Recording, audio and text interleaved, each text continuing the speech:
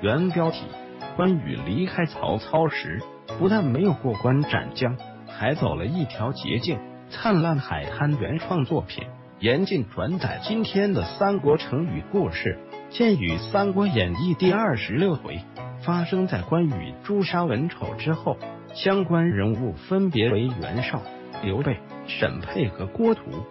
原文如下：玄德曰：“容身一言而死。”曹操素忌备，今之备在明公处，恐被助攻，故特使云长诛杀二将，攻之必怒。此借公之手以杀刘备也，愿明公思之。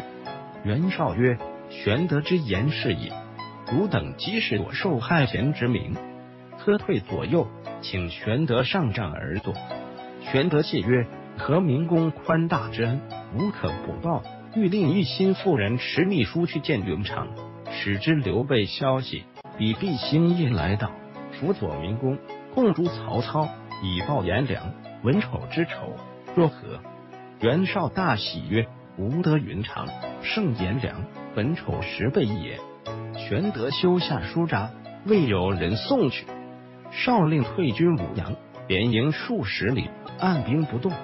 操乃使夏侯惇领兵守住官渡隘口，自己班师回许都，大宴众官，贺云长之功。正饮宴间，忽报汝南有黄金流辟，攻都。甚是猖獗，曹洪内战不利，其遣兵救之。云长闻言，进曰：“关某愿施犬马之劳，破汝南贼寇。”操曰：“云长建立大功，未曾众筹，岂可负劳征进？”公曰：“关某久闲，必生疾病，愿再一行。”曹操壮之，点兵五万，使于禁，乐进为副将。次日便行。按照小说的情节发展，关羽在延津斩杀文丑后，沈佩和郭图在袁绍面前栽赃刘备，袁绍大怒，欲将刘备斩首示众。刘备谎称派人送信给关羽，让其前来归顺。糊涂的袁绍竟然转怒为喜，放过了刘备。此时身在曹营的关羽得知汝南一带有黄金余孽刘辟和宫都作乱。主动邀请带兵平叛，曹操随即任命关羽为主将，于禁、乐进为副将，率部前去征讨。之后便有了关羽千里走单骑，过五关斩六将的故事。本文要介绍的成语是袁绍在文丑被杀后的兵力布置，叫做按兵不动，意为使军队暂时不行动，现也比喻暂不开展工作。这句成语的最早出处是《荀子·王志》中的“俨然按兵不动”。《三国演义》围绕关羽投降曹操至重返刘备身边，设计了不少精彩情节，例如土山约三世、斩颜良、诛文丑、千里走单骑、斩蔡阳等等。但在这些故事情节中，只有三件事真的：投降曹操、斩杀颜良和重回刘备身边。至于关羽是如何回到刘备身边的，小说设计了一个千里走单骑、过五关斩六将的故事，而这个情节也是历史的虚构。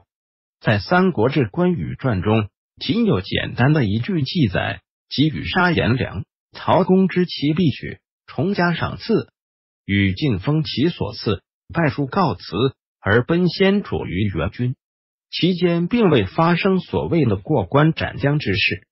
那么，关羽究竟是在什么时间离开曹操，回到刘备身边的呢？《三国志先主传》记载，曹公与袁绍相聚于官渡，汝南黄金刘辟等叛曹公应绍，少遣先主将兵与辟等略许下，关羽王归先主。这是什么时间呢？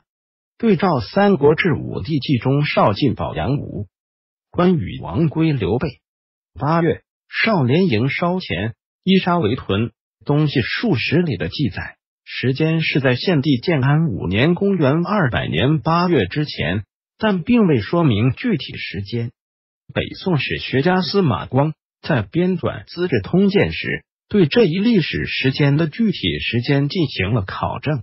并在《资治通鉴》中给出了一个明确的时间，献帝建安五年（公元二百年）四月，以这个时间与《三国志·先主传》中当时刘备当时的行踪做对比，可以发现这样一个事实：此时关羽随曹操屯兵官渡，而刘备与袁绍驻扎在阳武，两地隔河相望，相距不远，正是关羽回到刘备身边的最佳时机和最近距离。